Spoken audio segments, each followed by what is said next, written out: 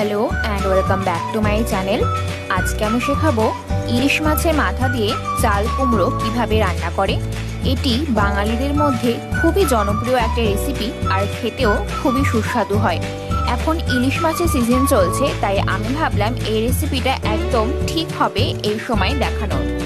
তবে ভিডিওটা শুরু করার আগে আপনাদের সবার কাছে রিকোয়েস্ট করব, আমার চ্যানেলটা প্লিজ সাবস্ক্রাইব করে দেবেন। আর সাবস্ক্রাইব করার সময় পাশে থাকা বেল আইকনটি অবশ্যই ক্লিক করে দেবেন। যাতে আমি যখন নতুন কোনো ভিডিও দেব, তখন আপনাদেরও নোটিফিকেশন আসে। তাহলে আর দেরি না করে চলুন রেসিপিটা দেখে নেওয়া যাক।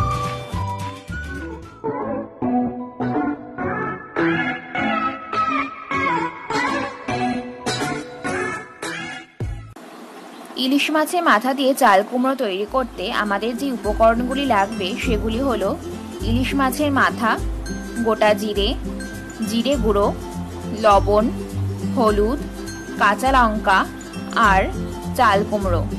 আমি ইলিশ মাছের মাথাটা আগে থেকেই নুন, হলুদ মাখিয়ে রেখেছি। প্রথমে আমি ইলিশ মাছের মাথাগুলো ভেজে নেব।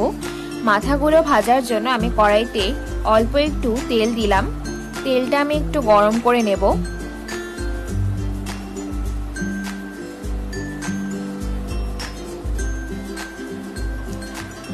তেলটা গরম হয়ে গেছে, এবার আমি মাছের মাথাগুলো দিয়ে দেব। মাছের মাথাগুলো কিন্তু খুব ভালো করে ভাজতে হবে।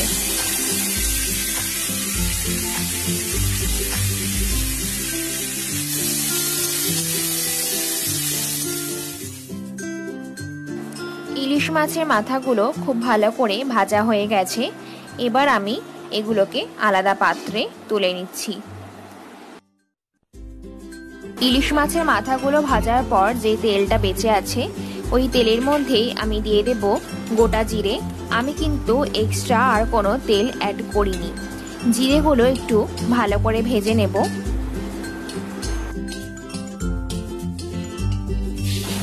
জিরেগুলো ভাজা হয়ে গেছে। এবার আমি কাঁচা লঙ্কা আর চাল কুমড়োগুলো দিয়ে দেব।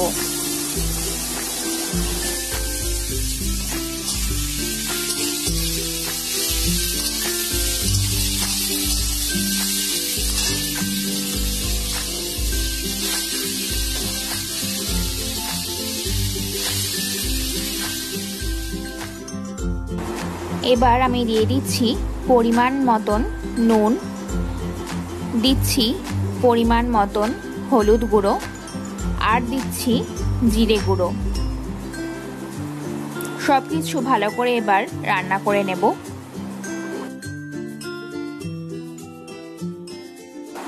এবার দিচ্ছি স্বাদ মতন চিনি।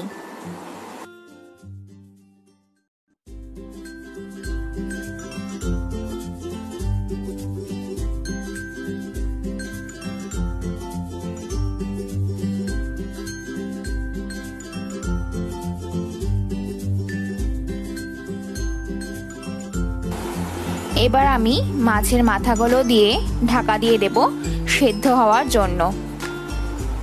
চাল কুমড়ো থেকে নিজেই জল ছাড়ে, তাই সেই জলেই চাল কুমড়োগুলো সেদ্ধ হয়ে যাবে। এবার আমি দেখে নেব চাল কুমড়োটা সেদ্ধ হয়েছে কিনা।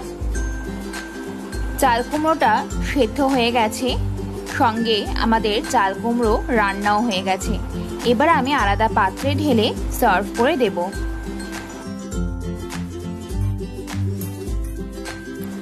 ভিডিওটা কেমন লাগল আমাকে অবশ্যই জানাতে ভুলবেন না। আর আপনারাও বাড়িতে রেসিপিটা ট্রাই করে আমাকে অবশ্যই ফিডব্যাক দেবেন আপনাদের কেমন লাগল খেতে। ভবিষ্যতে এরকম আরও নানা রকম খাবারের ভিডিও দেখার জন্য আমার চ্যানেলটা প্লিজ সাবস্ক্রাইব করে দেবেন। আর সাবস্ক্রাইব করার সময় পাশে থাকা বেল আইকনটি অবশ্যই ক্লিক করে দেবেন। যাতে আমি যখন নতুন কোনো ভিডিও দেব, তখন আপনাদেরও নোটিফিকেশন আসে। এরকম আরও ঘরোয়া বাঙালি পদ্ধতির রেসিপি যদি আপনাদের জানা থাকে, তাহলে অবশ্যই আমার কমেন্ট বক্সে লিখে জানাবেন। আমি তাহলে অবশ্যই সেই রেসিপিগুলো ট্রাই করে আপনাদের দেখাবো। পরবর্তী ভিডিওয়ে আবার একটা নতুন রেসিপির সাথে দেখা হবে। ভালো থাকবেন।